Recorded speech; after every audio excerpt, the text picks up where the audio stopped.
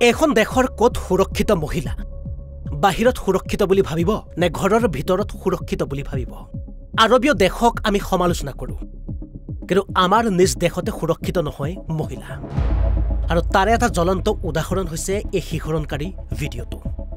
এগৰাকী যুৱতীয়ে পিতৃৰ সৈতে আহি আছে মন্দিৰৰ পৰা।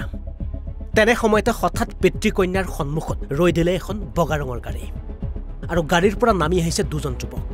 তাৰে এগৰাকী যুৱকে পিতৃক আন্ধাৰত মাৰধৰ কৰাৰ লগতে পলাবলৈ চেষ্টা কৰা যুৱতীগৰাকীক মুখত ৰুমাল পিন্ধা এজন যুৱকে খেদি আহিছে। আৰু খন্তেক সময়ৰ ভিতৰতে যুৱতীগৰাকীক গাড়ীৰ ভিতৰত ভৰাই উদ্ধাৰ হৈছে যুৱকৰ দলটো পিছে বাহনখনৰ পিছে পিছে যুৱতীগৰাকীৰ পিতৃয়ে খেদা মাৰি আহিছিল যদিও ইতিমধ্যে বহুদূৰ আঁতৰি গৈছে যুৱতীগৰাকীক লৈ বাহনখন। সামাজিক মাধ্যমত ভাইৰেল হোৱা এই ছাব্বিছ ছেকেণ্ডৰ ভিডিঅ'টো আকৌ এবাৰ চাওকচোন।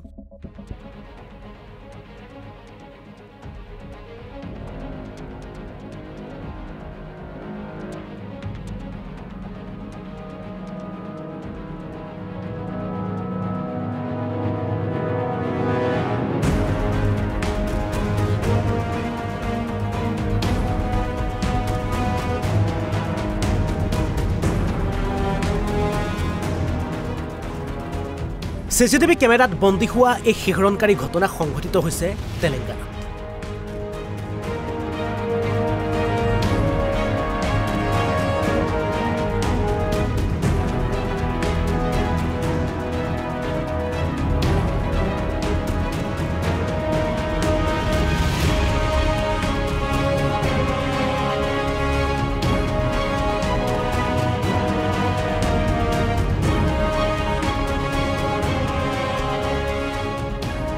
News desk Asom live twenty four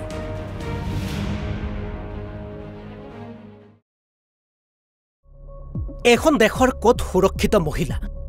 বাহিৰত সুৰক্ষিত বুলি ভাবিব নে ঘৰৰ ভিতৰত সুৰক্ষিত বুলি ভাবিব? আৰৱীয় দেশক আমি সমালোচনা কৰোঁ। কিন্তু আমাৰ নিজ দেশতে সুৰক্ষিত নহয় মহিলা।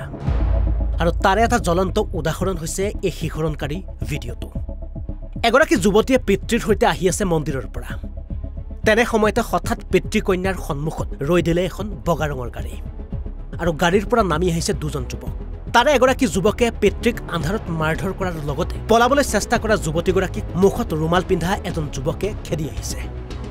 আৰু খন্তেক সময়ৰ ভিতৰতে যুৱতীগৰাকীক গাড়ীৰ ভিতৰত ভৰাই উদ্ধাৰ হৈছে যুৱকৰ দলটো। পিছে বাহনখনৰ পিছে পিছে যুৱতীগৰাকীৰ পিতৃয়ে খেদা মাৰি আহিছিল যদিও ইতিমধ্যে বহুদূৰ আঁতৰি গৈছে যুৱতীগৰাকীক লৈ বাহনখন। সামাজিক মাধ্যমত ভাইৰেল হোৱা এই ছাব্বিছ ছেকেণ্ডৰ ভিডিঅ'টো আকৌ এবাৰ চাওকচোন।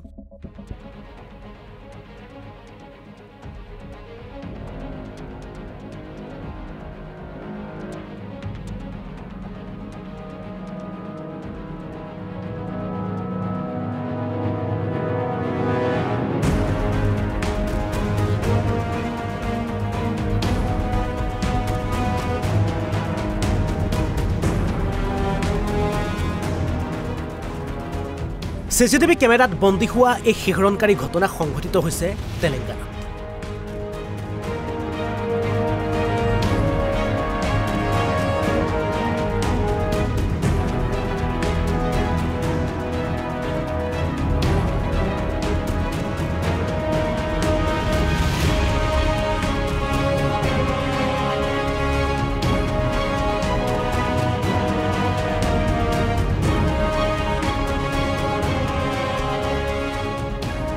News desk report Asom live twenty four